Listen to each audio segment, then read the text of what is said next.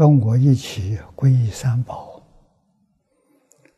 阿舍离存念，我弟子妙音，时从今日乃至明存。皈依佛陀，两足中尊；皈依大摩，利欲中尊；皈依僧伽，注众中尊。二舍利存念，我弟子妙音，时从今日乃至明存。皈依佛陀，两足中尊；皈依大摩。利欲中尊，皈依僧伽，注众中尊。阿舍利存念，我弟子妙音，时从今日乃至命存，皈依佛陀，两足中尊；皈依大摩，利欲中尊；皈依僧伽，注众中尊。请看《大经科注》第七百二十二页，啊，七百二十二页。第六行，会书曰：“是则第十八愿成就，一不终归也，唯在于斯。”所以者何？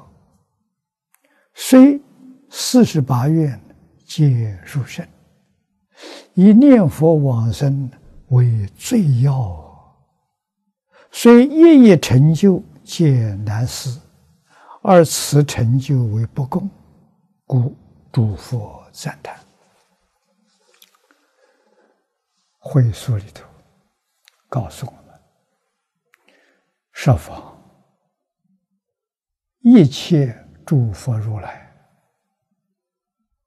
为什么赞叹阿弥陀佛？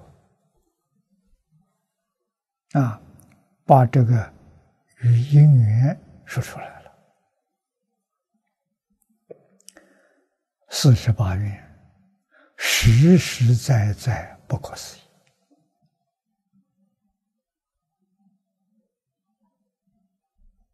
啊。底下这两句话说得好：“一部宗贵，这一部就是一部无量寿经。一部无量寿经的宗贵，宗是主要的意思，尊崇的意思。啊，一部经就归这一一句话。啊，四十八愿是什么？啊，这这个这个这个呃。”十八愿，生念必生的，这还得了吗？啊，无量寿经无比殊胜，就是在这一句，十年必生。有人给我们做样子。前些年，刘素清，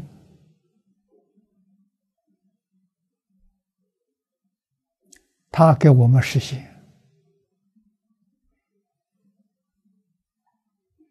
念佛，是不是真的生净土？他念多久呢？一个月，他的寿命还有十年，十年寿命不要了，来试验试验。第十八愿是不是真的？给我们做出来了，让我们看到了。啊，那么在最近，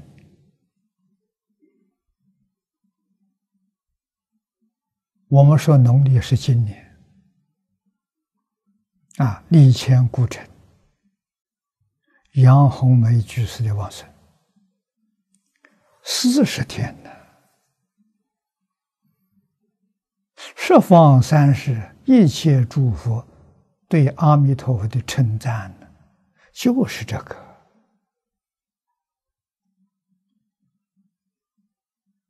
啊，这个太殊胜了，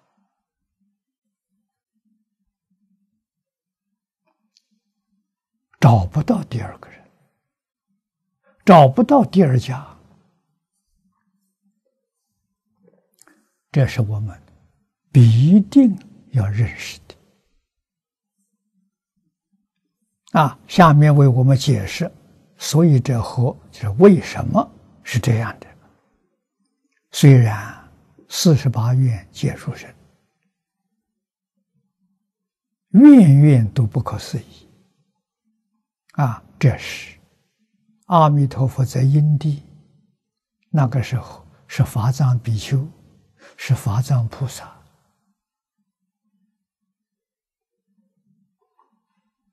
啊，他的大愿是想普度十法界苦难众生，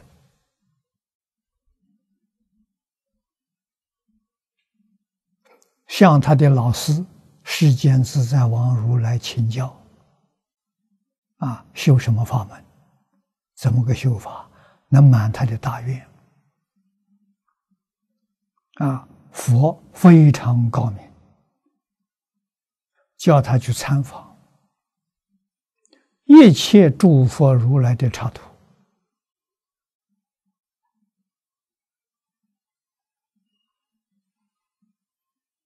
他用了五届的时间，很长啊，大戒了，不是小戒。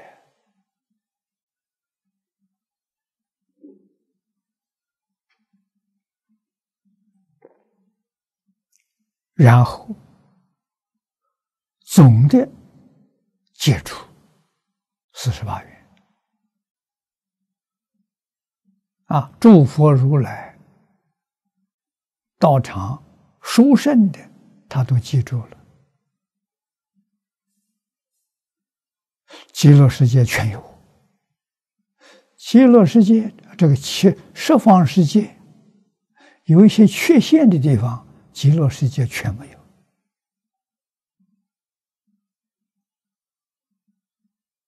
啊，所以他是集一切诸佛刹土的大成，集一切诸佛刹土的精华，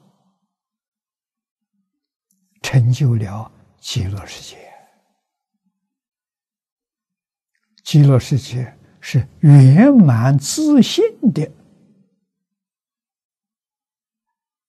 呈现没有丝毫欠缺，所以十方诸佛共赞啊！如果说智慧、神通、道理，一切诸佛是平等的啊。可是谈到愿呢？愿就不一定平等了，啊！智慧、神通、道理，阿弥陀佛能做到的，一切诸佛都可以做到，这是真的，不是假的，啊！可是，一切诸佛没注意，没想到，啊！阿弥陀佛他有意，他去考察，他真正把它落实了。这个太不可思议了，值得一切诸佛赞叹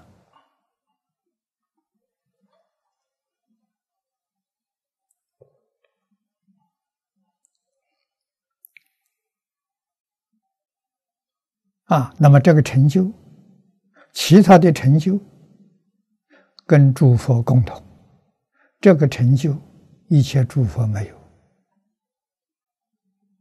没想到这问题，所以诸佛赞叹，闻彼佛名啊，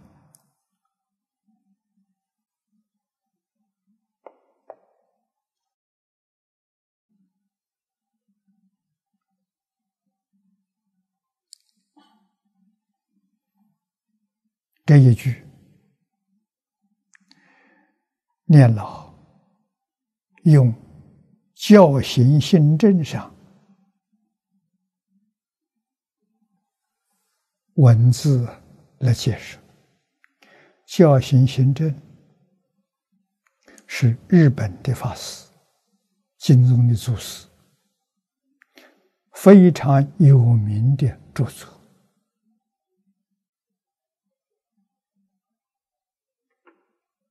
也是为我们介绍弥陀净土啊！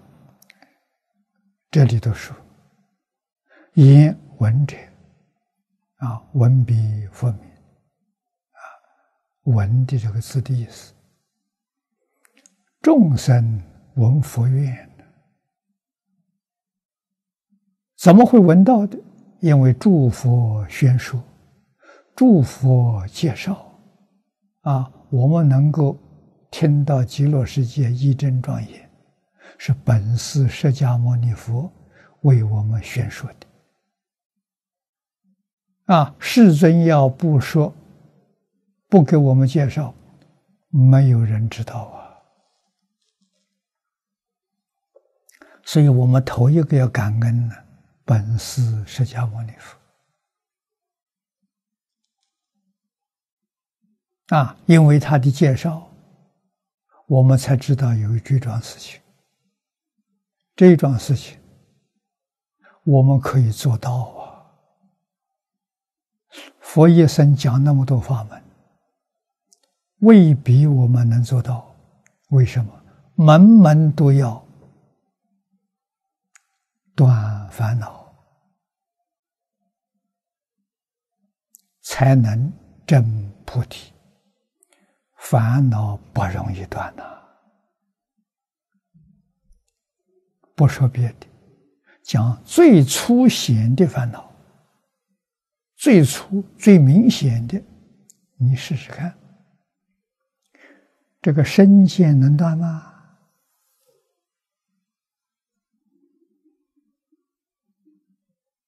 从哪里断起？从这里开始啊！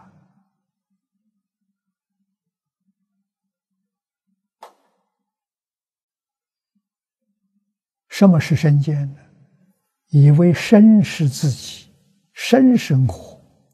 你想想看，六道的众生，十法界的众生，哪一个人不把身当我呢？那身不是我，谁是我了？什么是我了？头一条啊！佛怎么说？佛不说生生活，佛说佛说生是我所，我所有的。像这件衣服，衣服不是我，大家知道，这衣服是我所有的，是我所。佛把这个身体就看作一件衣服，这不是我，是我所有的，叫我所。啊，那真的我是说，真的我现在我们忘掉了，迷了。啊，真的我叫自信佛法叫自信。你看慧能大师大彻大悟，明心见性了。他向五祖做了报告。报告很简单，只有二十个字。那二十个字就是他的修行成果的证明。吴祖听了，行了，一波就给他了，给他证明他真的开悟了，开悟就成佛了，明心见性，见性。成佛，他就成佛了。那虽然不是圆满佛，他是分正佛，是真佛，不是假佛。天台大师讲得好，他把佛设为六种，叫六即佛，即就是。第一个是讲理，理即福。啊，理即福，一切众生本来是福，这从理上讲啊。啊，一切众生范围大了，不是说一切人呢，人当然包括在里头。啊，所有一切的动物，个个都是啊。比动物范围更大一点，就生物。宇宙之间，所有一切生物，包含细菌。他是不是佛？是啊！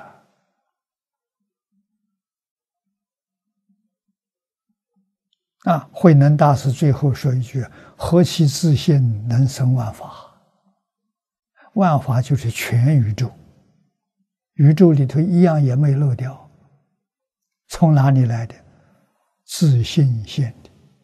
华严经上说的：‘唯心所现，唯识所变。’”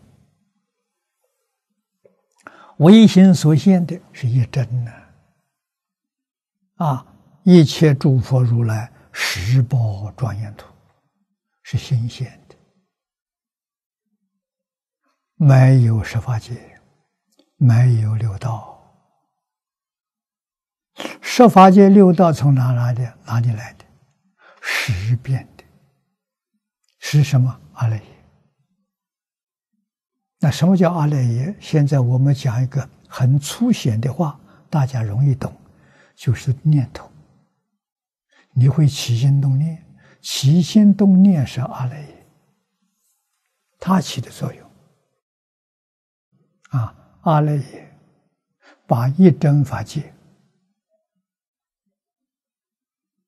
变成十法界，把十法界。又变成六道轮回，啊，这从念头变的，所以佛讲我们这个世俗，一切法从心想生，啊，诸位要知道，一真法界不是心想生，啊，是自信遇到缘，自然呈现。自信有隐现不同，它隐隐就没有了，不能说它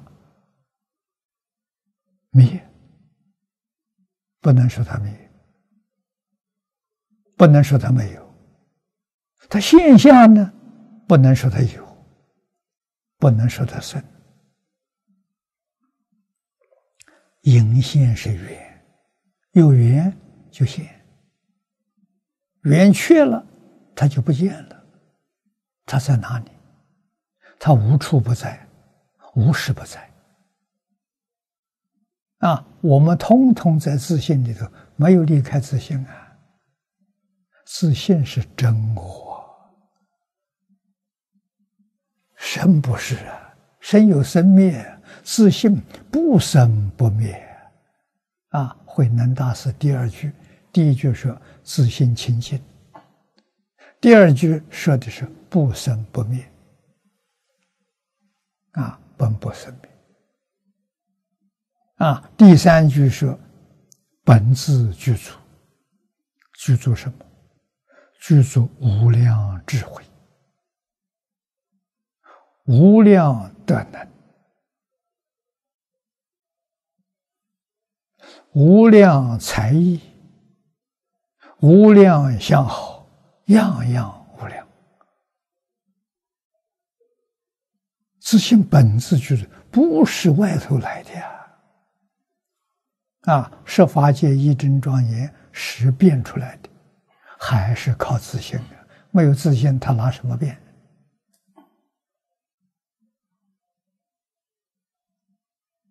啊，迷了自信，就出现这些幻象。设法界幻象，不是真的。六道轮回幻象也不是真的。大乘教上佛告诉我们：“当体即空，了不可得了。”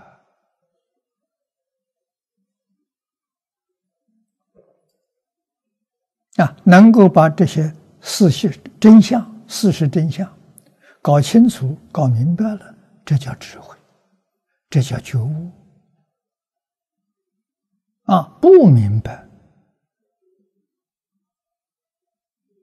不清楚、迷在这里面，这叫凡夫。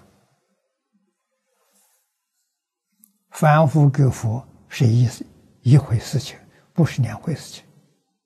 觉悟了叫佛，迷惑了叫凡夫。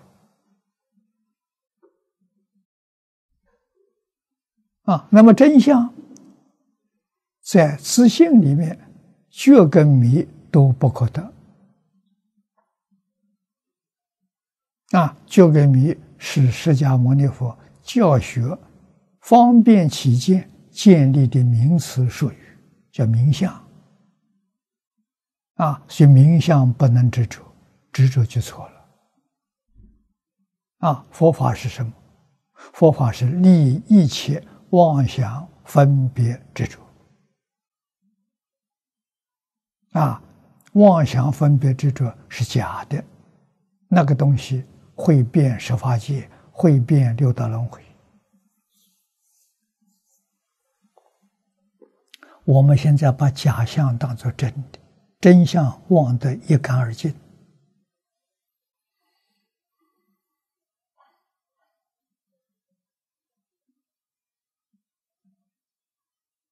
问题就在此地。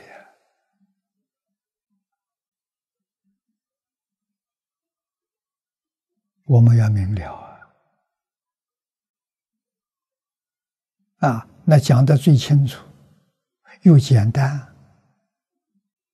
又容易明白的，就在这一部《无量寿经》里头。啊，《无量寿经》经文不长，现在我们总有一卷。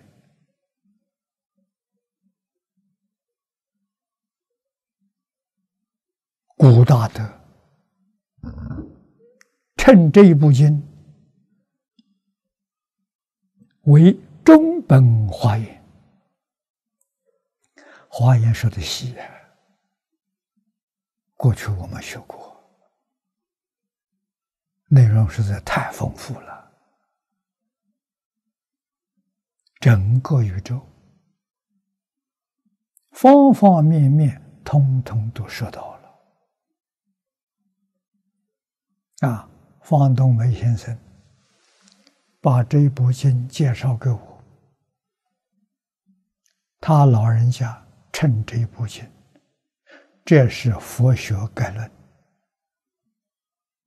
全部的佛佛这个佛教都在这部书里头，叫概论，啊，所有一切经都是从这部书里头的一部某一部分细数，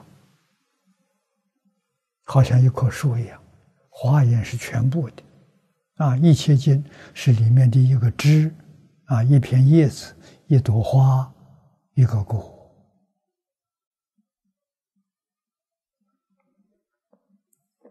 那么这一部经《无量寿经》呢，古德称之为中本华严，啊，说明它的内容跟《大方广华严经》没有两样。华严生讲讲的他这都有，华严说的详细，他这个地方说的，掌握到总持的法门，啊，一两一两个字，一一两句，啊，在华严上就是长篇大论，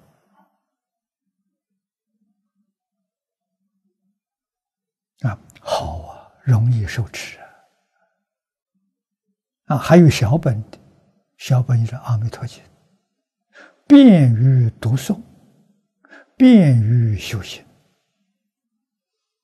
啊，《弥陀经》《无量寿经》《大方广佛华严经》，是一部经，细讲略说，略说就是阿弥陀经。细讲呢，就是大方广佛华严经。啊，无量寿经称为中本。便于日常读诵学习，这个经不能不读，读的遍数越多越好。啊，变数多了会开悟，自自然然就明白了。为什么？因为自信里头本来具足无量智慧德相，道理就是这个。念多了，心地清净把染污，染污是烦恼啊，啊，把染污啊练干净了。要怎么念法？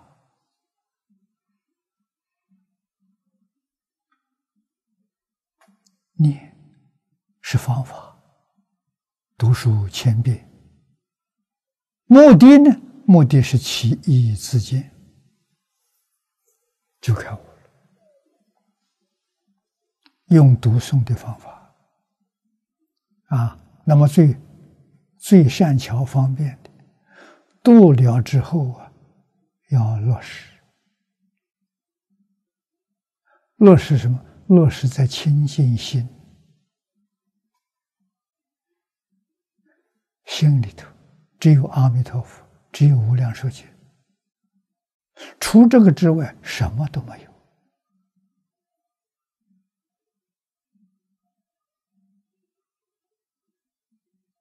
这叫功夫得力。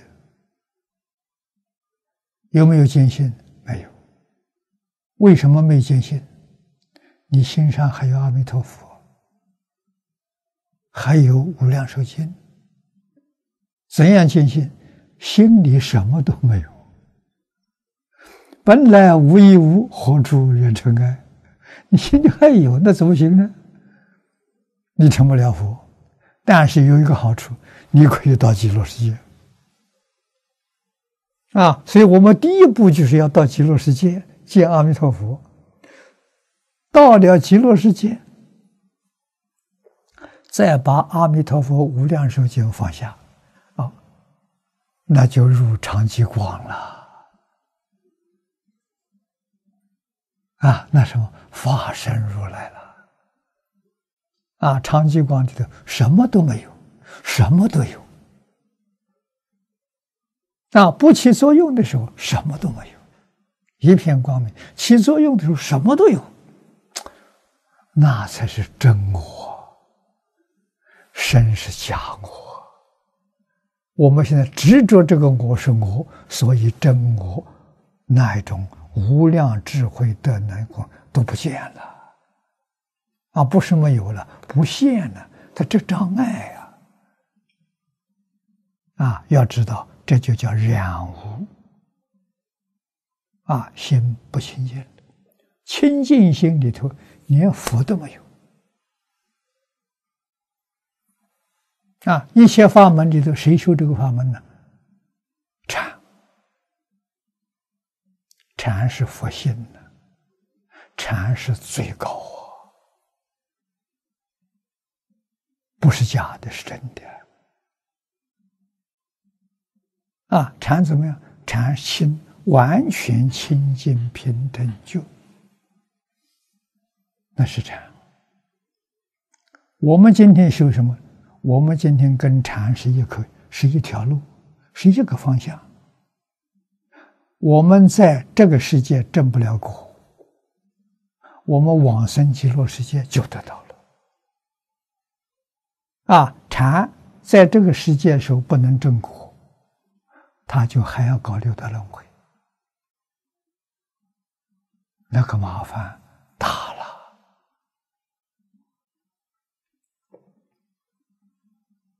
啊！早年念老在世的时候，我每一年都要到北京去个两三次，去看老人家，向老人家请教。啊！念老告诉我，这个世界修行成就难。啊，禅，他告诉我，有得定的，像虚云老和尚得禅定，有没有开悟？没有，难了，太难了。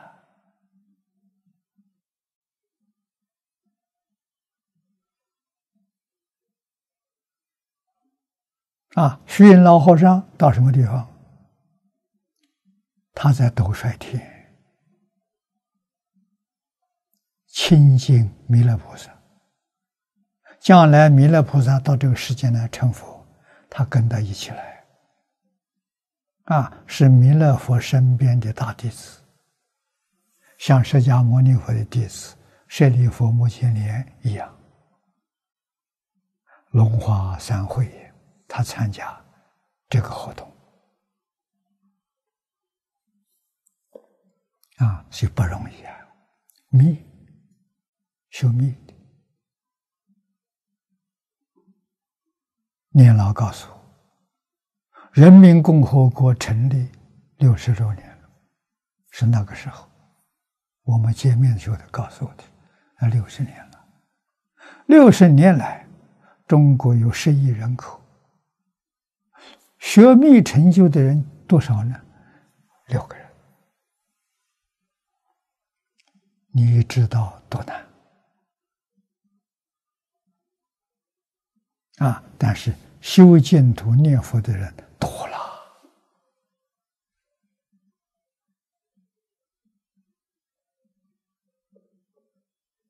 啊，不敢说一万以上啊，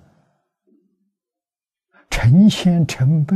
有啊，肯定有啊。他就教给我，一定要放下万缘，死心塌地，一句佛号念到底。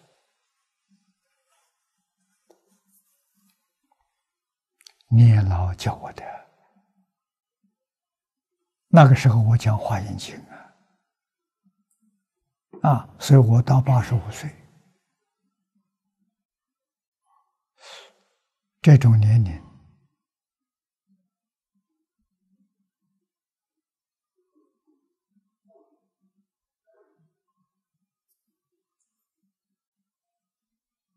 随时可以往生的。啊，不能说哪一年哪一月不能的，随时可以去。啊，我就想到，我心清净平等觉没得到，不容易。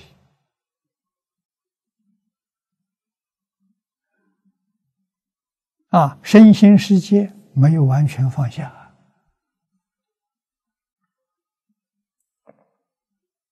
那么要想成就，只有靠净土。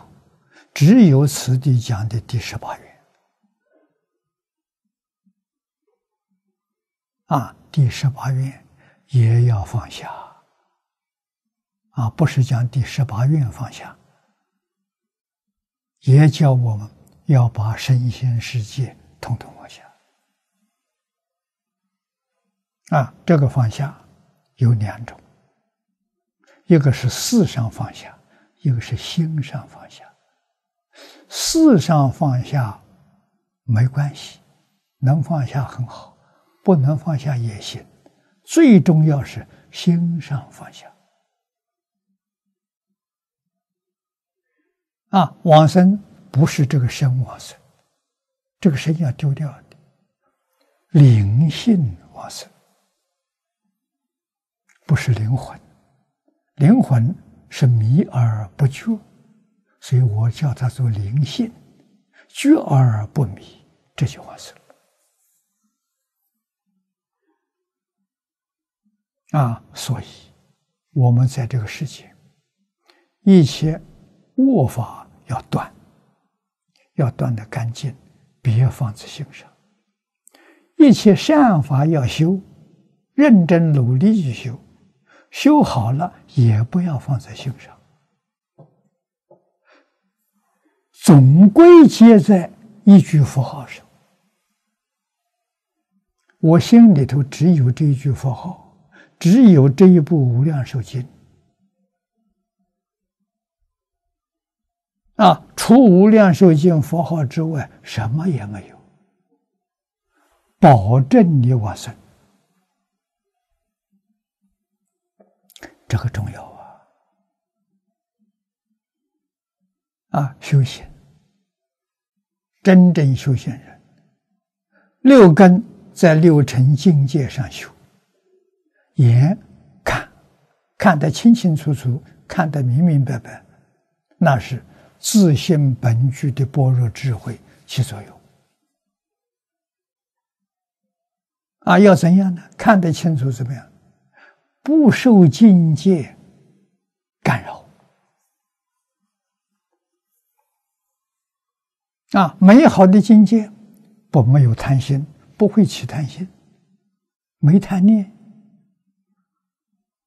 啊，邪恶的境界心情，哎，也不干扰我，我也不嗔恨他。换一句话说，通通别放在心上，若无其事，啊，见而不见，不见而见，这个妙啊！这就是真正修行呢，这就是真正用功啊！用功在哪里？在生活当中，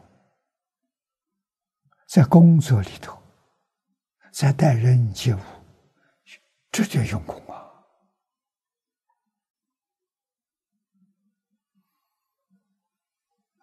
不能不知道，是真功夫啊！让我们自己得到什么？得到清净，得到平等，得到觉。无量寿经上经体清净平等觉，这是因。清净平等就生什么？清净平等就是花，开花了，后面一定结果啊！果是什么？大成无量寿庄严。这一句就是西方极乐世界。就是阿弥陀佛，极乐世界一真庄严呐！大乘是智慧呀，无量寿是福德了啊！人有福，大福大贵，富贵第一德就是长寿啊！寿命不长，有福也等于没有吧。啊，所以是长寿啊，庄严，庄严就是极乐世界一报珍宝，净土宗修因正果都在净体上。啊，人家问说净土修什么？修清净平等觉。啊，平等心就有什么好处？在好处在极乐世界，我们这一生寿命到了，往生到极乐世界，功德就圆满了。生到极乐世界就是阿惟越之菩萨，阿惟越之叫三不退，位不退，行不退，念不退，啊。是真正弥陀弟子，将来在极乐世界成佛，跟阿弥陀佛完全相同，智慧跟阿弥陀佛一样，德能跟阿弥陀佛一样，相好跟阿弥陀佛一样，神通跟阿弥陀佛一样，没有两样啊！啊，到那个时候，我想大家的愿望是相同。的，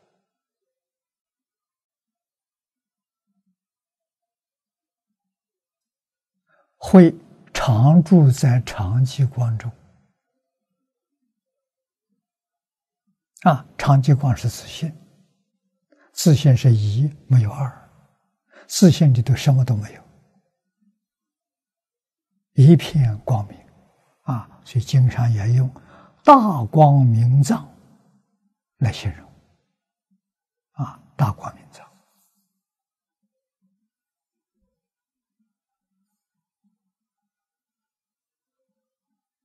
啊，密宗里头有修。大圆满觉就是大光明藏，所以八万四千法门、无量法门，到最后，最后的目的地就是长极光净土，融入长极光了。长极光是一片光明，就像灯光一样。啊，我们这个摄影棚十几盏灯光，啊，每一盏灯光 光光交融，融成一体，啊，融成一体，没有分别。啊，你看，虽然融成一体，个人是个人。我们熄掉一盏灯，这光没有了。啊，打开了之后，它跟所有光融成一体，所以成了佛之后，样样圆满。为什么？每一尊佛所修学的，到最后融成一体，啊，不会再分你的我的了。一切诸佛所修的功德。在我的心前，全部能显现出来，啊！所以《华严经》上说：“一即是多，多即是一，一多不二啊！连一多这个念头都没有，啊，无念了，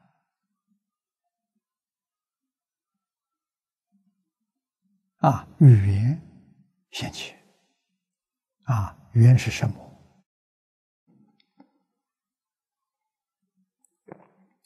缘是起心动念，自信不起心动念，怎么会起心动念？一念不觉。为什么会一念不觉呢？没有理由。啊，一念不觉就怎么样？现象，现整个宇宙，好像我们一般人晚上睡觉会做梦，那梦从哪里来？也是一念不觉，意识一念不觉就发梦。自信一念不绝，就现宇宙，啊，全宇宙，慧能大师所说：“何其自信，能生万法。”啊，没有想到自信能现宇宙，啊，完全的与完整的宇宙是自信现的。所以见性之后，这个宇宙里头。样样事情，通通知道啊，没有一样不知道啊！啊，真正明心见性人，他会说：“我什么都知道。”啊，先前事情知道，过去事情知道，未来事情也知道，没有一样不知道。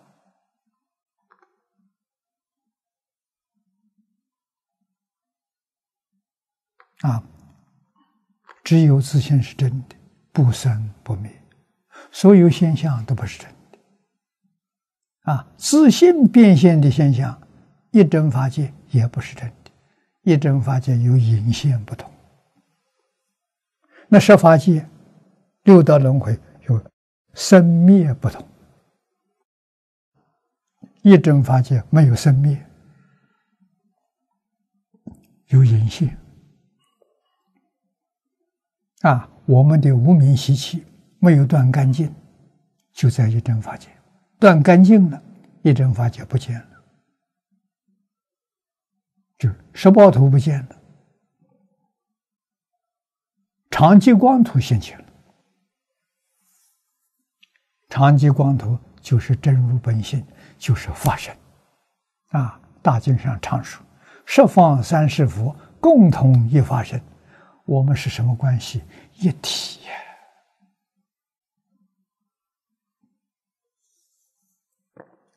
一体，你能不爱吗？一体，你能不关怀吗？一体，你能不照顾吗？自然的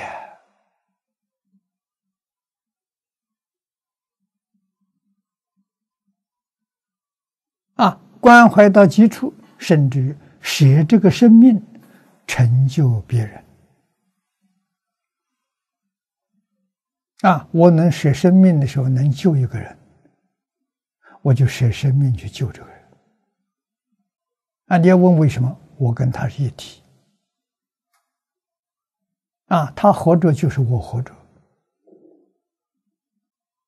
是一不是二。那是什么人干的？真正明白人干的。迷惑颠倒的人他做不到啊！啊，他知道他是我，这身体是我。啊，明白的人知道是整个宇宙是我，心包太虚，量周杀界，这是本来的，原来就是这样。现在这个心量这么小，啊，小气不能包容，这就是反复。啊，菩萨一个阶级心量比一个阶级大，到化身境界，那就是心包太虚，两周杀界。啊，在这个极乐世界是十宝庄严土。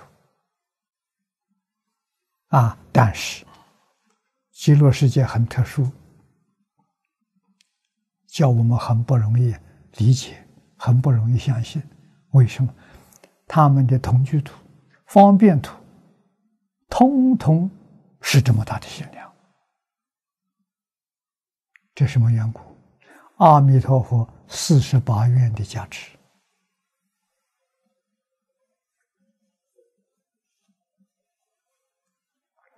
不可思议，所以诸佛赞叹。啊，那么文笔名号，文笔佛名啊。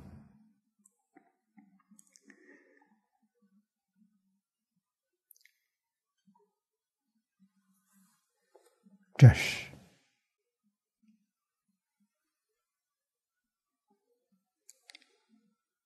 文明的佛缘，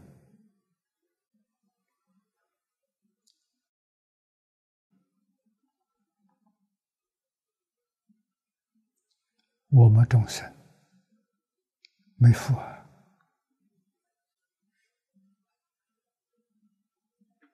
在中国过去。不说太长远吧，一百年前，满清末年，那个时候人还不错。虽然社会动乱了，比起现在来说，那时候人有福报。为什么？听到佛了，生欢喜心啊！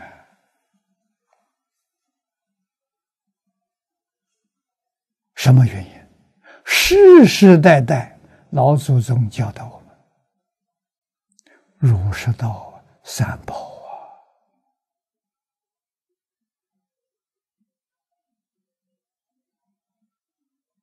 啊！不信的人也敬，听到佛名呢，他也恭敬。啊，不信也敬，他有德行。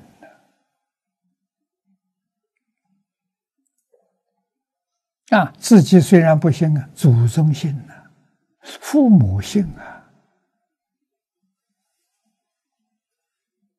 啊，亲戚朋友当中，外祖父、外祖母信啊，啊，舅舅阿姨他们信呐，啊，他们信做晚辈的，纵然不信也不能反对，为什么呢？不孝了。啊，他还要尽孝道啊，所以闻到佛名都生欢喜心，都生恭敬心，这个社会就有福报。现在不行，丢久了，疏忽了。啊，外国人相信科学，中国人相信外国人，不相信中国人。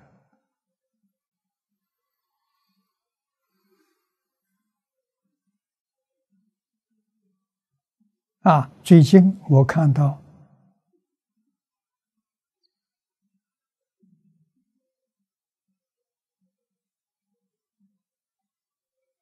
一篇文章，是一位老教授写的。啊，题目是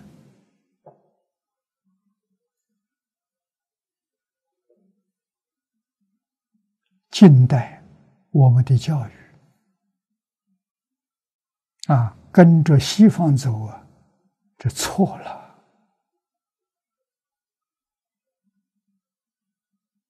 把我们传统东西丢掉了。他写的非常好，钱穆写的。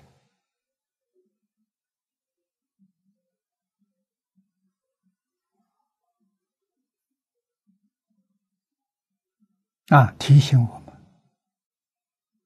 现在逐渐逐渐，西方人对中国传统东西逐渐研究的人多了。啊，研究的结果对中国传统文化赞叹，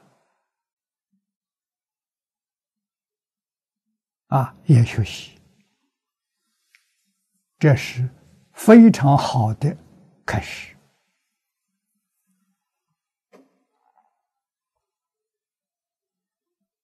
啊！今天习主席领导我们，用什么领导？用老祖宗传统文化来领导，真难得。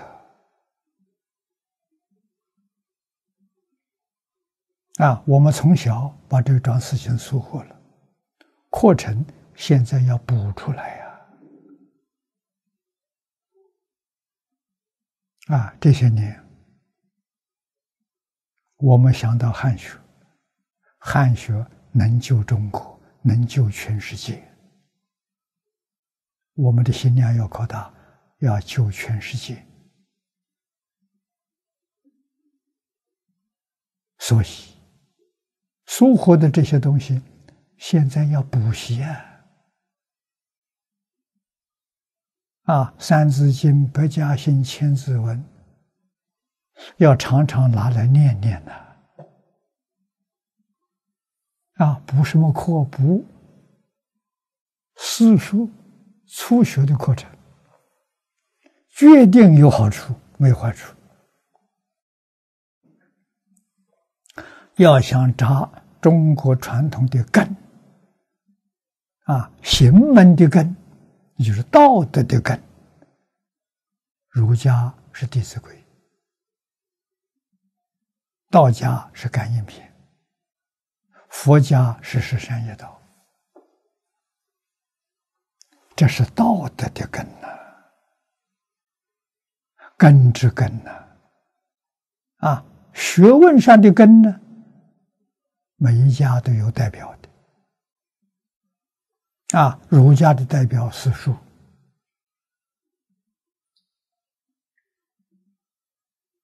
分量不多，过去。千百年，中国人必读之书，啊，从小念书，没有不念四书的，啊，大概五六岁就开始念了，啊，佛教的，就是无量寿经，我们现在学的这个本，它代表佛法，为什么？佛法的大乘、小乘、宗门、教下、显教、密教，它通通包括了，都讲到了。好啊，啊，它是佛教概论，四书是儒家的概论，道家的就念老子《道德经》，五千言够了。啊，那么就是说中国人。这三种书至少要多念几遍呢。中国传统文化的根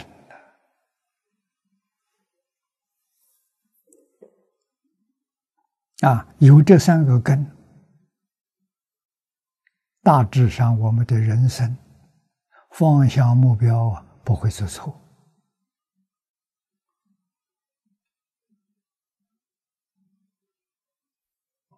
方老师告诉我，人生最高的享受，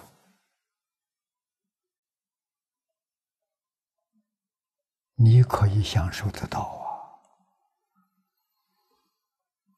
为什么要学这个？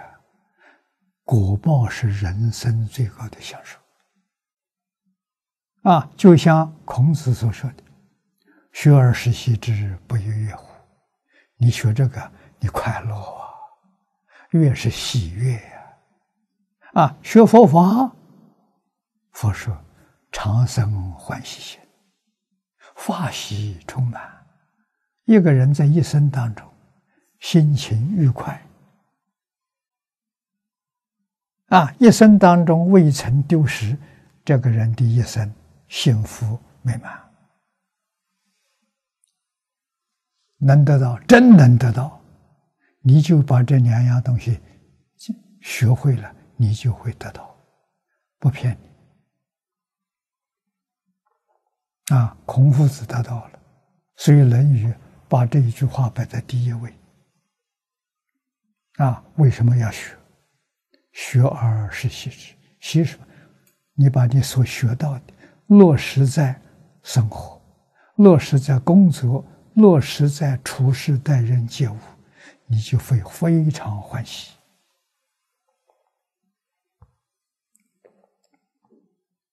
啊！习是落实啊！那么现在学术有没有研究古典的？有，我们看到很多大学里头开这些课程。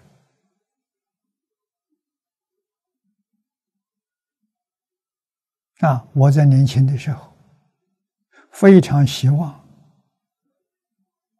到大学去旁听。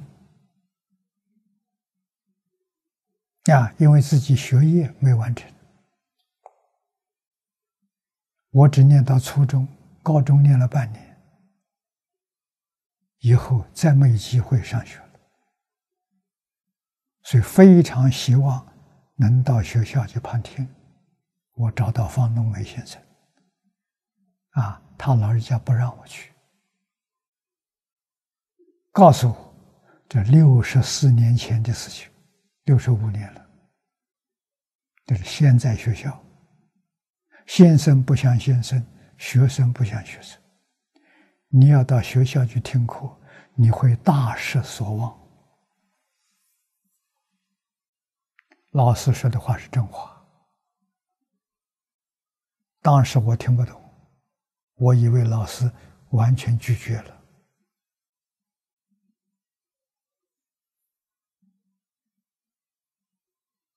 啊，老师真的看到我想学，啊，所以就告诉我：“你真的想学，到我家里来。每个星期天上午九点半到十一点半，两个小时，他给我讲两个小时。我的哲学是在他家里学的，感恩老师啊！”要不感恩老师，我现在早就过世了。这一生苦不堪言呢。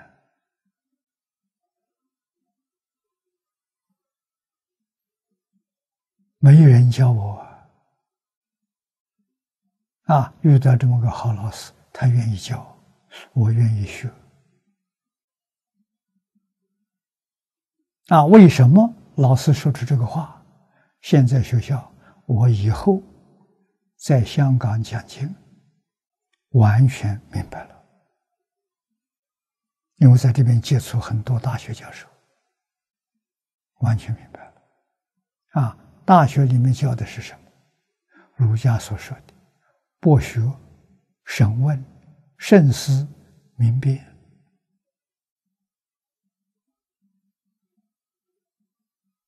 没有实行。没有独显呐！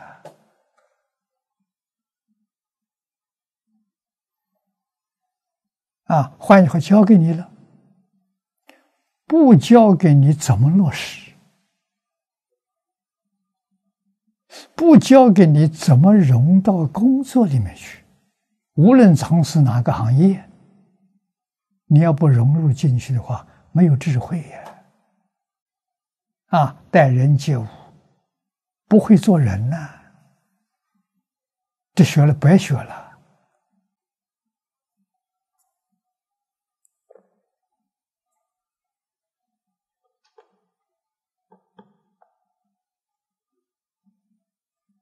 啊！所以有人问我为什么提倡《弟子规》我说我自己没有那种聪明智慧我是人家打成一鞭子一个反应。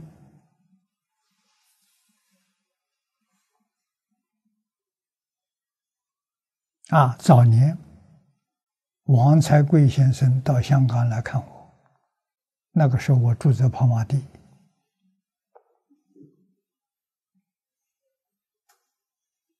啊，来问我一个问题。他在当年提倡儿童读经，我知道这个事情，我也非常赞叹，也喜欢。可是教了五六年之后啊，出了问题。啊，他来找我，就出问题。我出什么问题？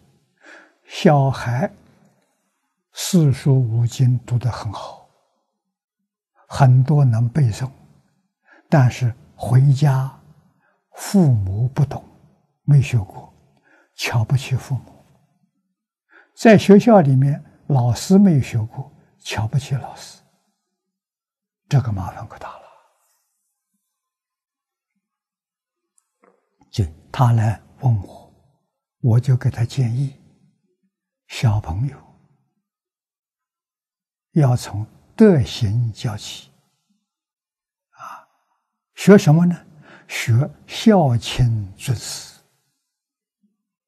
所以我就提想到《弟子规》，啊，《弟子规》学了《弟子规》。孝跟敬这两个字就学会了。孝以父母做代表，敬以老师做代表。小孩对大人都要懂得孝敬。这个孩子好啊，人人赞叹呐。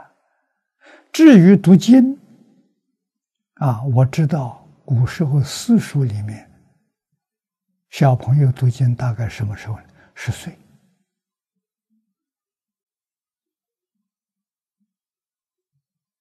啊，十岁到十五岁，这个五年是他读经的时候。啊，三四岁到七八岁，这个时候是教洒扫应对，教孝敬，是教行，没有教读书的。啊，读书的时候，那就是像《三字经》《百家姓》《千字文》啊，呃，《弟子规》这一类的。啊，容易记，重要的是要叫他做到。啊，都行。啊，所以我在明了了，现在学校里头是博学多闻，啊，博学多闻，啊，也就儒家讲的博学审问明辨。搞这个，啊，博学、审问、慎思、明辨，没有读心，没有教你怎么样用在生活上，怎么样用在工作上，没有讲这些，啊，不不讲这个，所以他不落实，啊，这就是我体会到方老师当年教我。跟我说：“啊，到学校去旁听会大失所望。”我就明白了。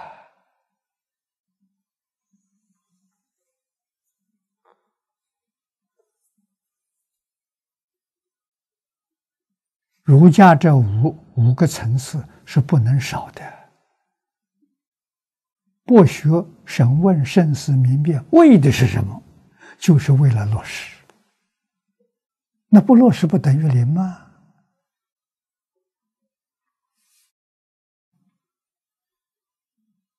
啊，所以老师在家里教学生就我一个，就不一样了。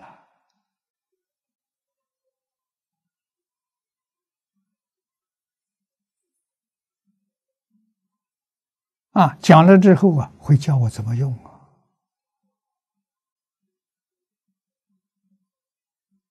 那叫修行呢？修行就是落实，修是修正，行是行为。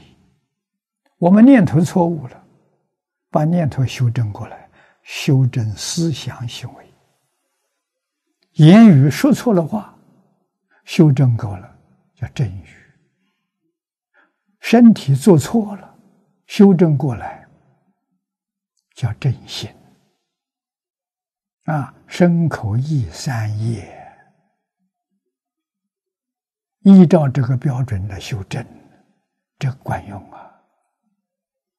啊，所以这个东西不是把它当做学术，像花瓶啊摆在那欣赏的，不是，是要踏踏实实去做到，这就对了。啊，所以我一生。感恩老师，一生感恩父母。啊，父母非常辛苦，那种辛苦现在人无法想象。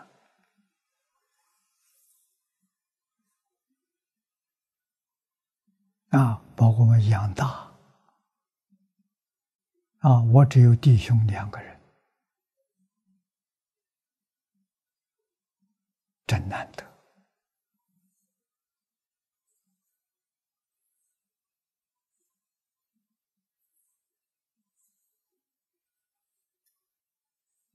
啊！我在战乱的时代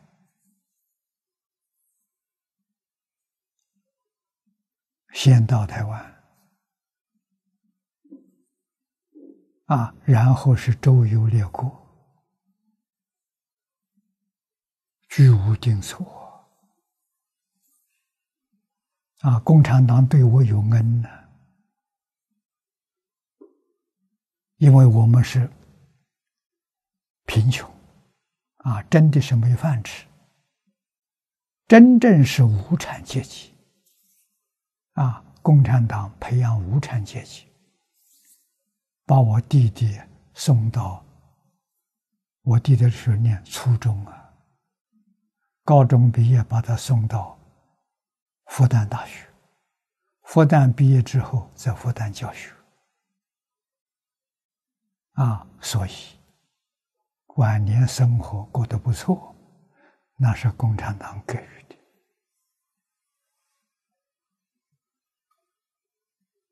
我们一家人感恩。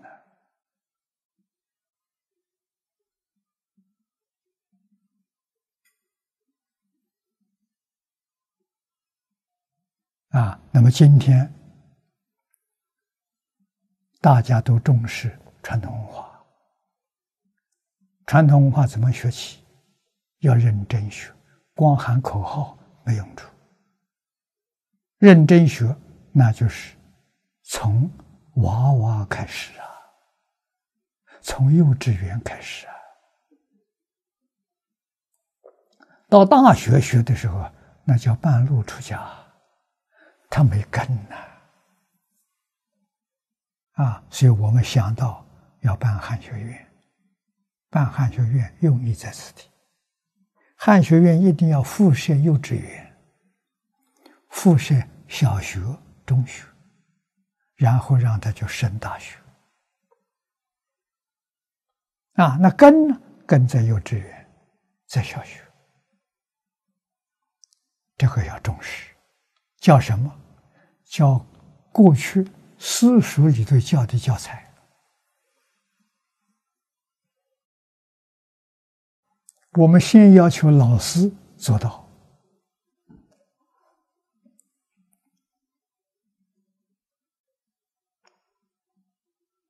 不是博学多闻，要老师把它做到，像《弟子规》。感应篇十三页，老师真正做到了，用他的爱心，用他的智慧去爱小朋友，把小朋友都看作是自己的亲生儿女，要这样的感情，去教导他，啊，孩子的心。很纯，很干净。老师的心也纯正，心心相印的，把孩子教好。啊，孩子回家永远能孝顺父母，尊敬长辈，我们的教育才成功。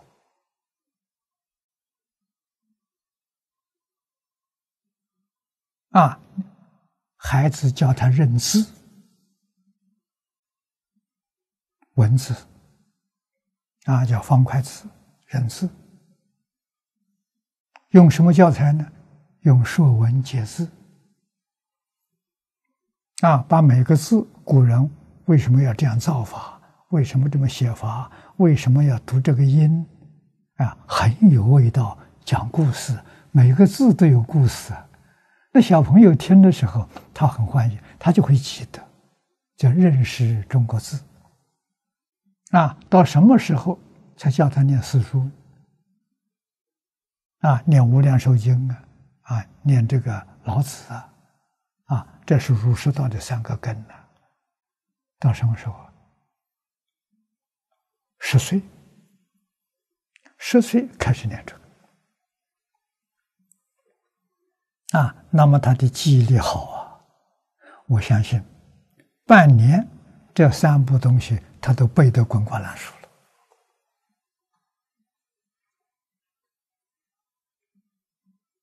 啊！那么再有十年，这都是他光阴最好的时候。老师要教导他专攻一部经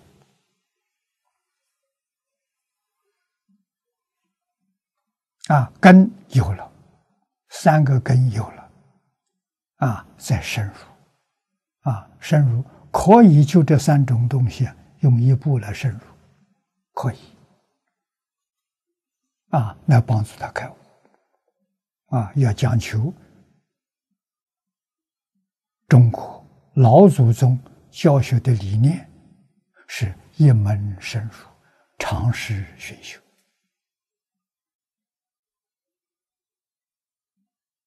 啊，从十岁到十五岁，这时他智慧开了，他理解了，啊，但是还是要着重读诵，啊，读诵的遍数至少要满三千遍。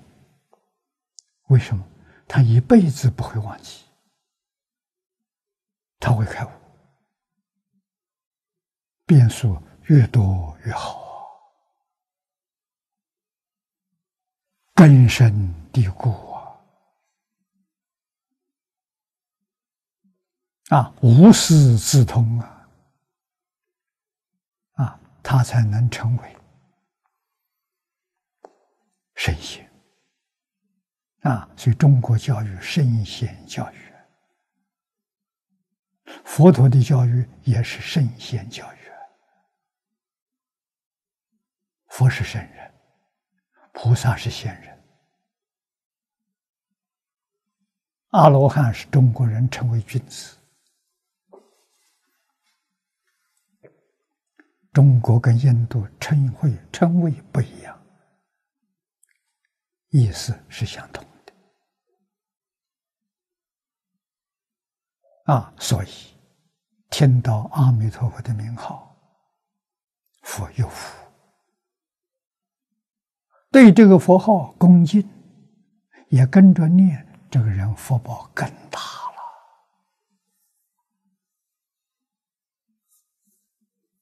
修福方法有八万四千，第一殊胜无过于念佛，一佛念佛，现前当来必定见佛。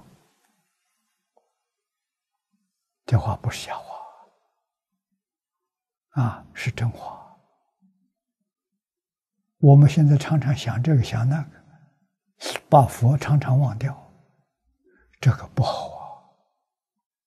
这往生没有把握，往生一定要专注。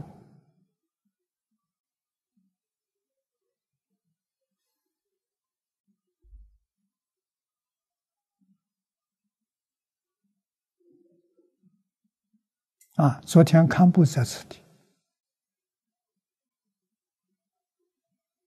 我是建议的时候，希望堪布给我们大家讲密教讲的前行，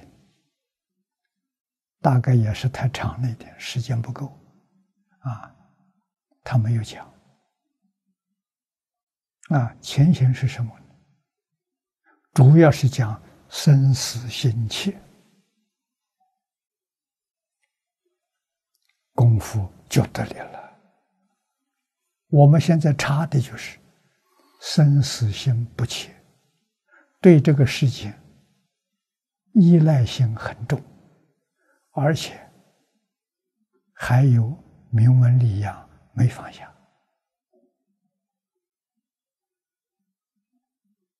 啊，身体健康也没放下啊。对这个身身体过分的重视，这个对于修净土求往生是大障碍。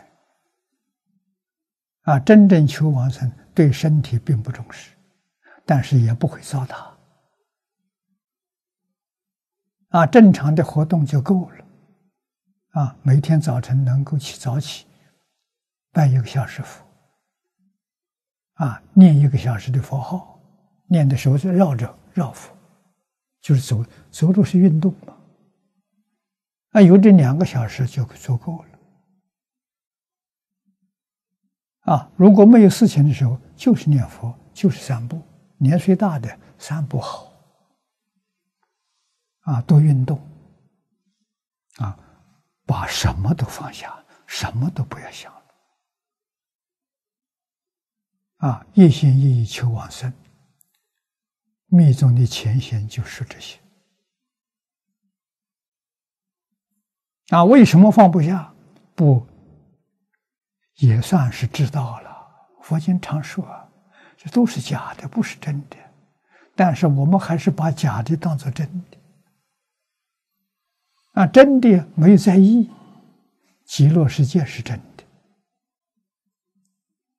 天天听，天天讲，但是并没有把它当真，还把现实生活当真。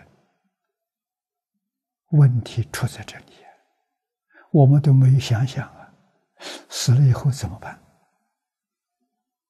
人生老病死，谁也逃不了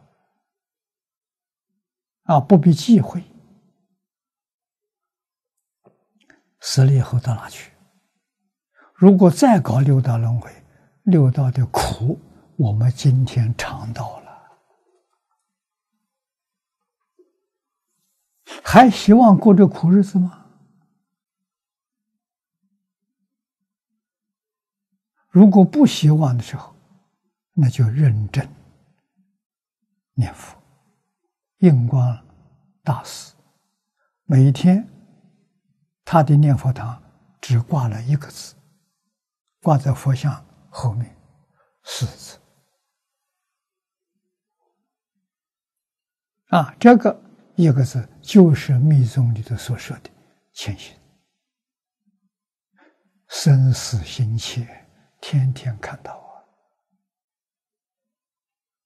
我。啊，活一天，老老实实念一天佛号，这就对了。这叫真正修净土法门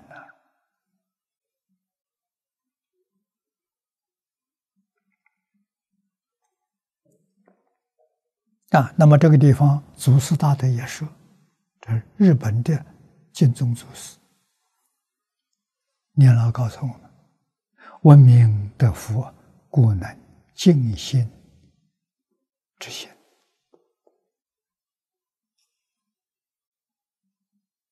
啊，文明不要中断。海鲜老和尚不能丢失啊，不能把名号丢掉了，失去了念头，一个念头接着一个念头啊。阿弥陀佛，阿弥陀佛，阿弥陀佛，记住，不能丢失。啊，对西方极乐世界，对阿弥陀佛，要生敬心，敬心就是一丝毫怀疑都没有。啊，底下说啊，清净心，清净心者，无疑之心心也，又无垢之净心也。够什么有染污？什么是染污？喜怒哀乐爱恶欲是染污，这些东西全放下了，心清净啊，没有怀疑了。这是经题上讲的清净心。只要你得清净心。你念佛的功夫就成片了，啊，你会很清楚，时时刻刻心里头有佛号，口里没有念，心里佛号不断，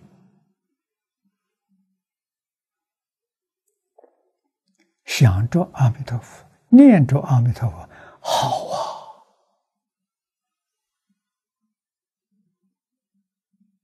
啊，啊，下面。举《圣曼宝库经》上卷，这经上说：“清净心，净者性也，其净心之心，又呢不杂烦恼心，叹名，叹是赞叹，也就是念佛。”念佛的时候没有夹杂烦恼，这个叫静心。把静心的标准给我们说出来了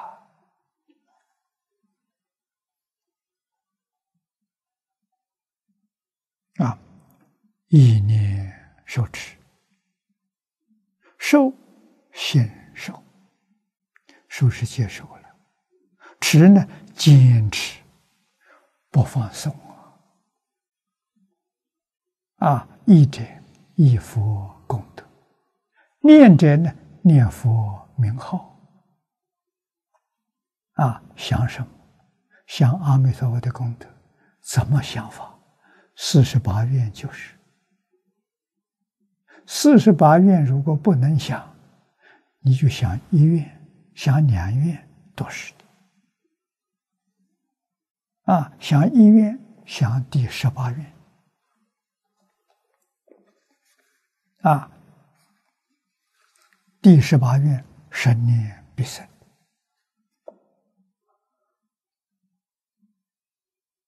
啊，那么最好是想善导大师给我们举出来的最真实的五愿。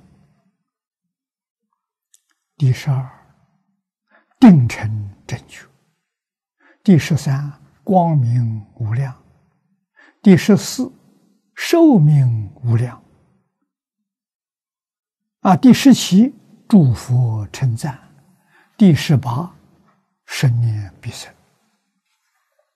这个五愿是四十八愿最重要的五愿啊。那么最简单的就是这一愿第十八啊，十年必生啊，这就是想阿弥陀佛的功德。十念不生不生，这个功德是阿弥陀佛跟一切诸佛不共的功德。就是不是共同，只有阿弥陀佛有，其他的没有。这个五愿，其他的四愿，诸佛也都有。啊，唯独这一愿，诸佛没有。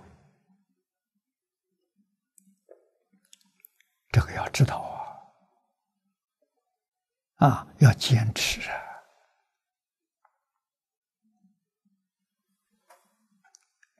下面。意念手持下面，皈依供养，啊，皈依，要真的皈依。我们今天皈依，念念三皈依，有口无心，不是真的。啊，真的皈依，身心归向，一直不舍，这叫皈依。啊，神仙归是回归，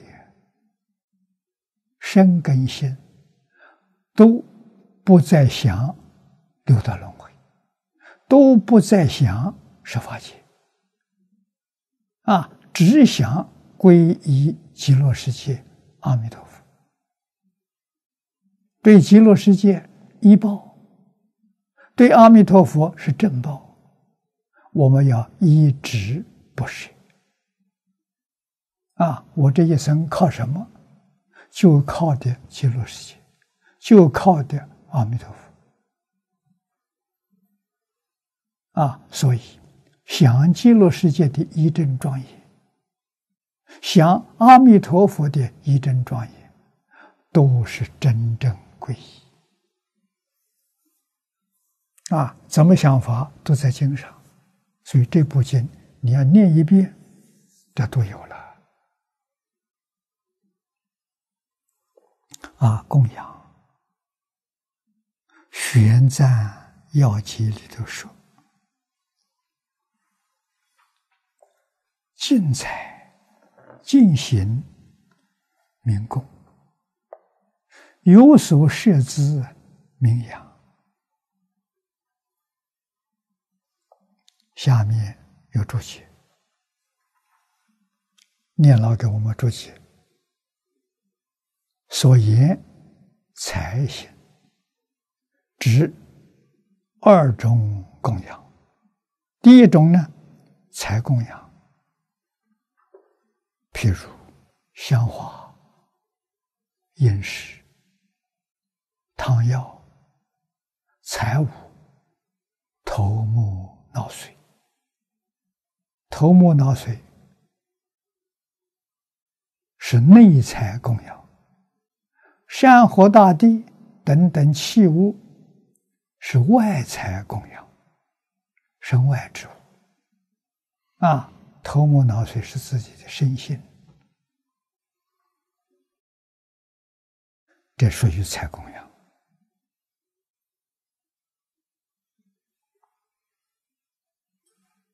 为佛法，为众生离苦得乐，要干呐！尽心尽力去做，就是圆满功德。啊，第二种呢，重要了，法供养。啊，什么是法供养？如说修行，以为供养。那么由此可知，我们念佛，我们发愿求生净土，真心真愿念这句佛号求生。真供养，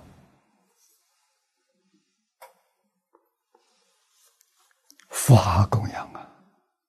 我们自己做出榜样给别人看，啊，自己天天这样做，老老实实对人诚诚恳恳的，啊，财行也是也也要干，发型也干。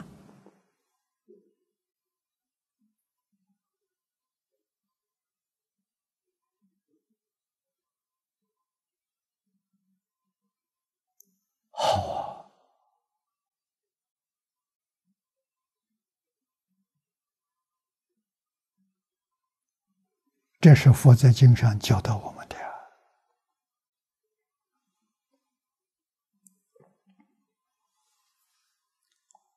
啊，如说修行的供养，持戒是供养。我们晋宗同学。用什么来持戒？三十年前，我们在美国，美国第一个金宗学院在圣荷西成立的美国金宗学会，会长杨一华，现在会长还是他，啊。他到我们此地来过，当时我写了个缘起，提出五个科目，晋中同学一定要遵守，要共修。这五条就是我？就是戒律。啊，第一条，敬业三福，是我们修行最高的。指导原则啊，第一条，孝养父母，奉事师长，慈心不杀，修持善业。这头一条，人天福报啊！啊，第二条是学佛了。前面那个一条是学佛的基础，没有那一条。学佛学不到啊，所以第二个佛的是是从第一个基础上再先提升的，受持三规，具足中戒，不犯违仪啊。前面还没有受受观一的，没有皈依，善男子善女人。啊，到这个地方呢，受持三规，具足中戒，这是三宝弟子了。啊，在家的、出家的，啊，受三规五戒、八关斋戒、十善业道，在家弟子。学沙弥律仪、比丘、菩萨戒，这出家弟子。啊，这个不能缺少的，戒在先呢。啊，然后第三幅大臣发菩提心，身心因果，读诵大乘劝进行者。啊，到读诵大臣的都是自信，劝进行者这是教化众生，教化众生要注重，特别在现代的社会。身行言教啊，我们要做给人看呐，不光说说了没用啊，大家不相信，做出来给人看，真干的啊！这是第一个科目，敬业三福啊！不管修学哪个宗哪个派，只要是学佛，都不能离开这个啊。这个后头经文又说，这是三世诸佛，过去、现在、未来一切诸佛修行正果的敬业正因，多重要！我们用这个来做我们的指导原则，修学的原理，原理原则抓到了，永远不能够离开。啊，不能够偏了，不能够邪了。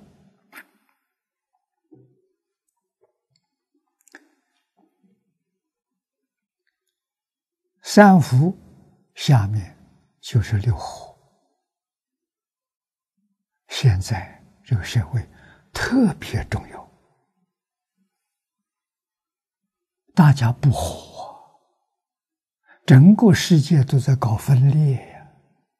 家庭里面父子分裂，兄弟分裂，社会上朋友分裂，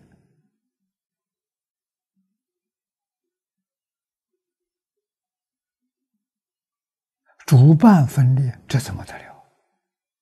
今天社会乱成一团，没有六合金啊！所以我们第二个科目六合，第一见合同解。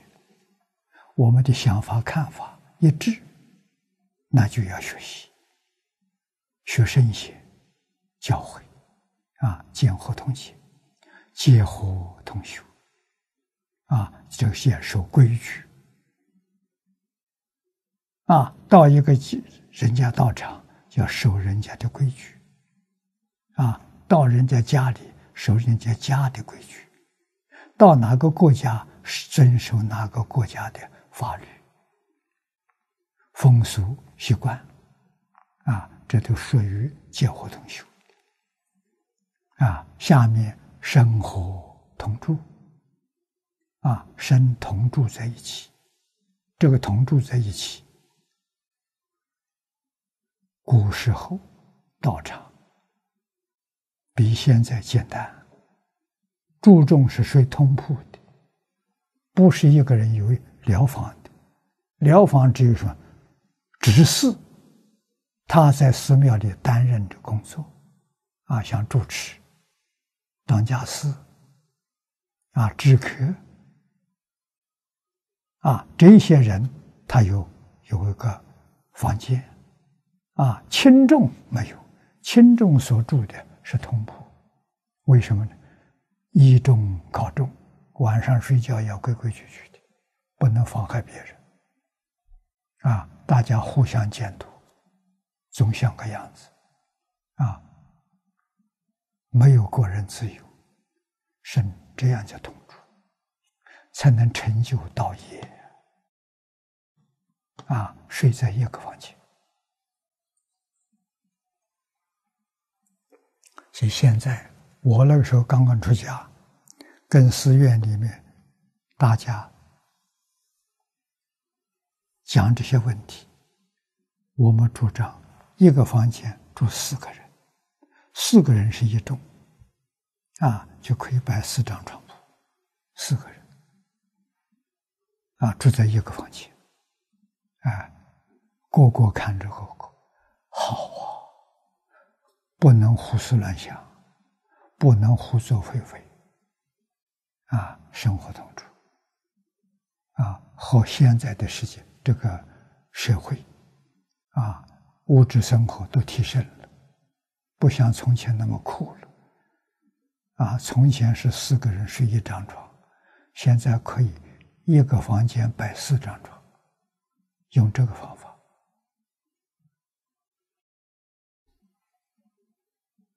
啊，口和无争，啊，决定没有争论。口是用来念佛的，不是用来批评人的。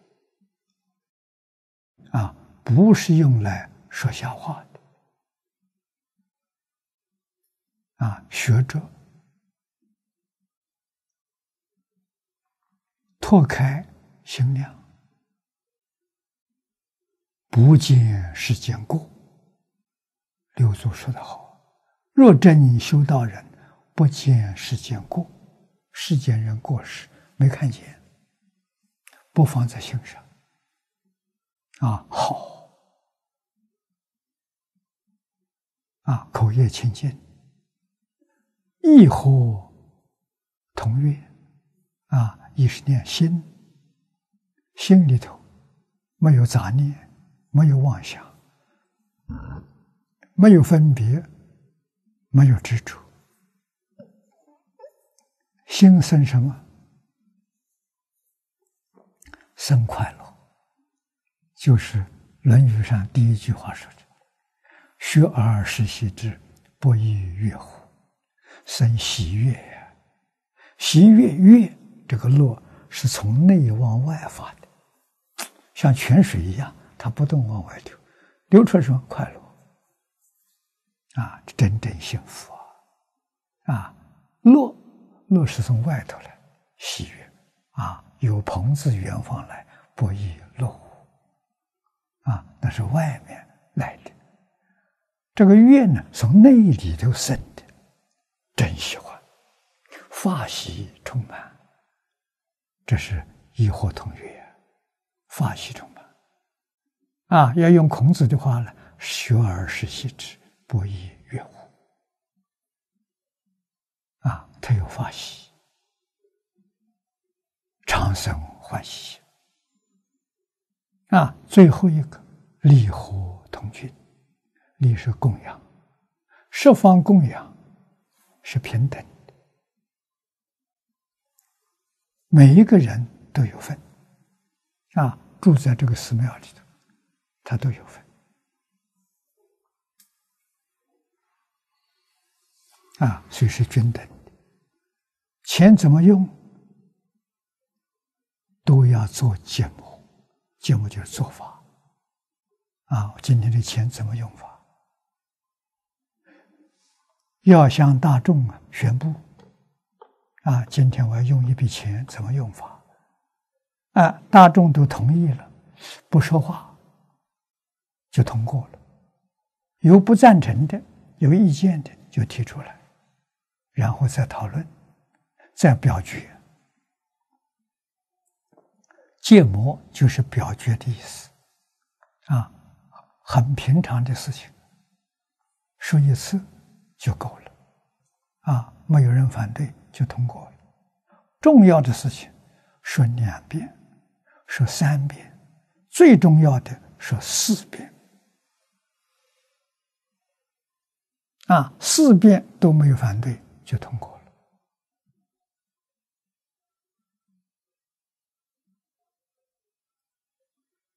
这是佛陀给我们制定的规矩啊！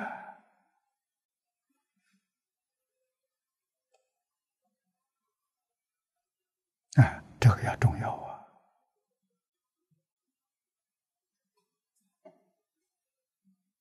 我们今天对内。是想把佛教兴旺起来，把佛教八个宗派都兴兴旺起来，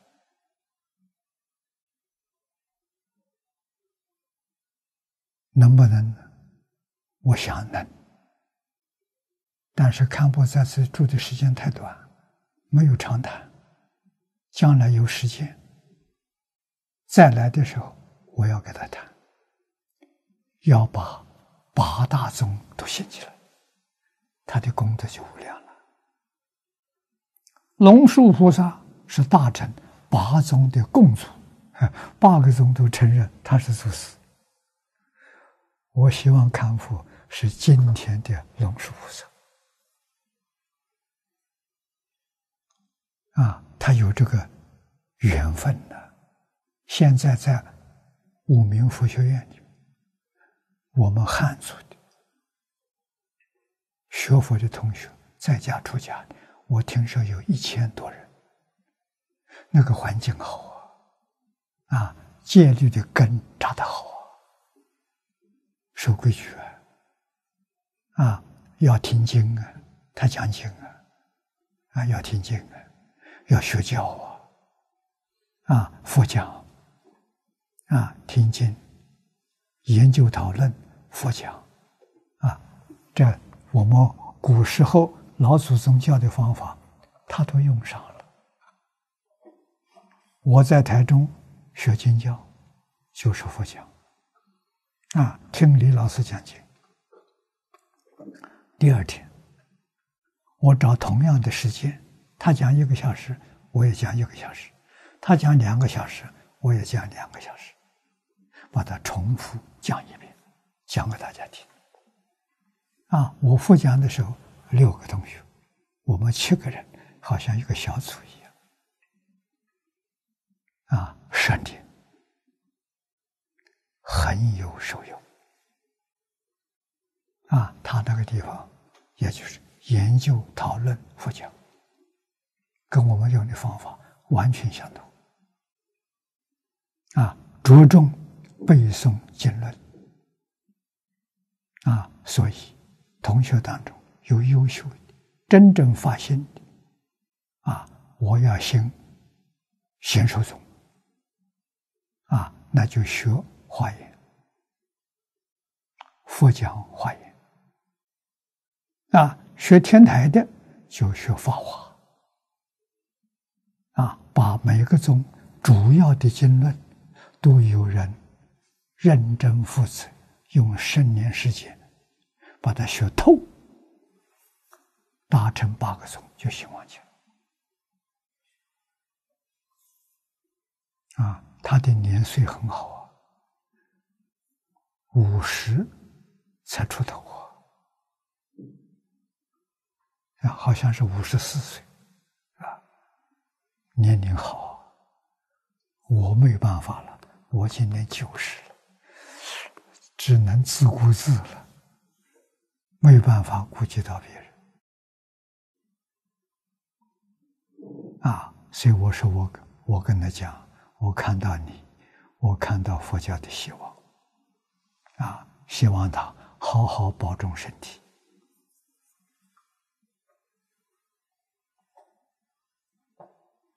真正发心，佛菩萨加持，寿命自然延长。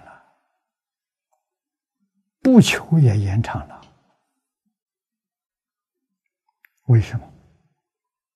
佛教需要这个人，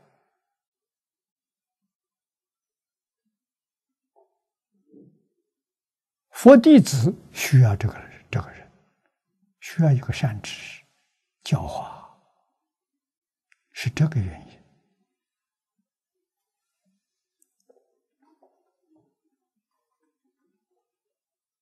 啊，所以寿命短点可以延长。我就是个很好的例子。我的寿命只有四十五岁，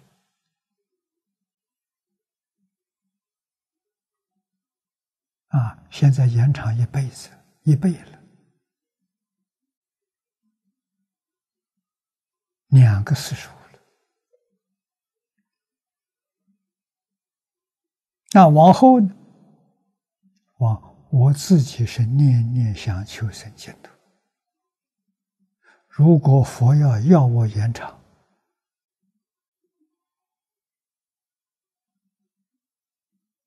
我也愿意。啊，多吃一点苦头，只要对佛法有利益，对众生有好处，啊，受苦受难我还能忍。啊，我还能包容，啊，这是我唯一的一点长处，其他的长处没有啊，啊，一生不怨恨人，不给人对立。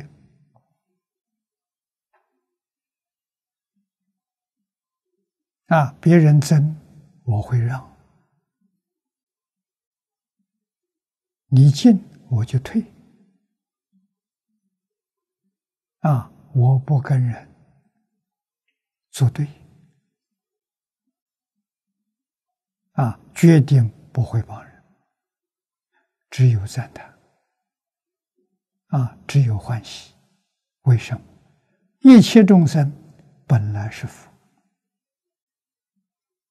他造作不善，是他一时迷惑，那不是他的本性。啊，我们要从本性上看，人心本善，欢喜心就能生起来了，度量就大了，自然就能包容。啊，这个很重要，相信因果，善有善果，恶有。恶报啊，不是不报，时候未到。道家讲的，讲的有道理啊，不能不知道，不能不相信啊。行善决定是好事啊，做恶决定不是好事。啊，不是好事，怎么不干？好事多干，我们就常常能保持住欢喜，就法喜充满，天天高兴，天天欢喜啊！人虽然老了，还是快乐。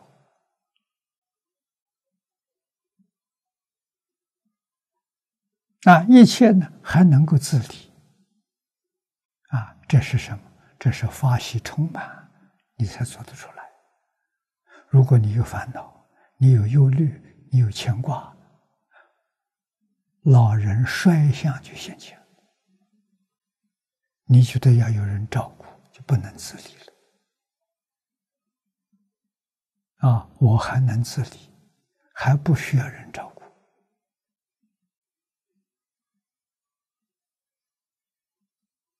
啊，李老师在世也是很坚强，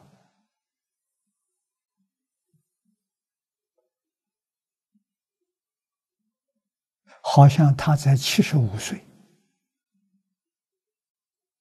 都还自己照顾自己，啊，九十五岁，他九十七岁走的，九十五岁还照顾自己，接受别人照顾时，只有最后两年。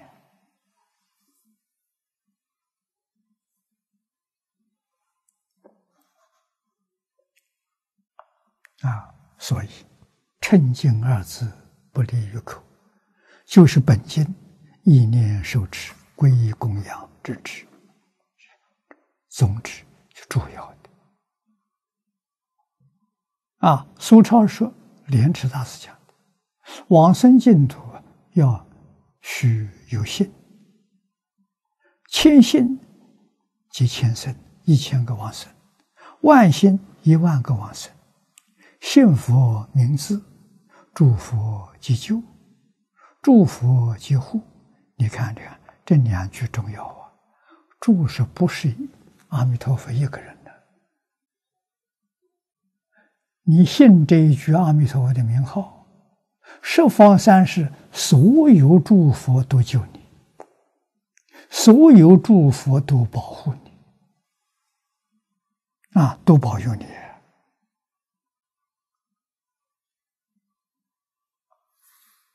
所以，我们一定要记住：心常忆佛，口常称佛，称佛就是念佛；身常敬佛，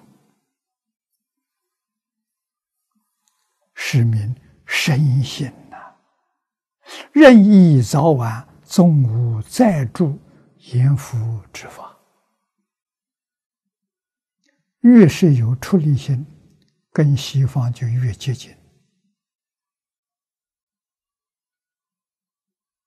啊，我们永远脱离六道轮回，严福就是六道轮回。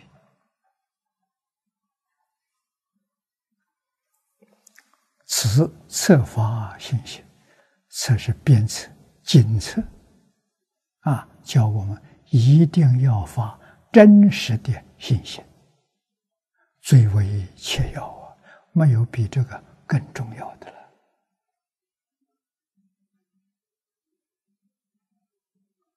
我们不能不知道，不能不真干啊！我们这次第四次。学习大经，记住，比过去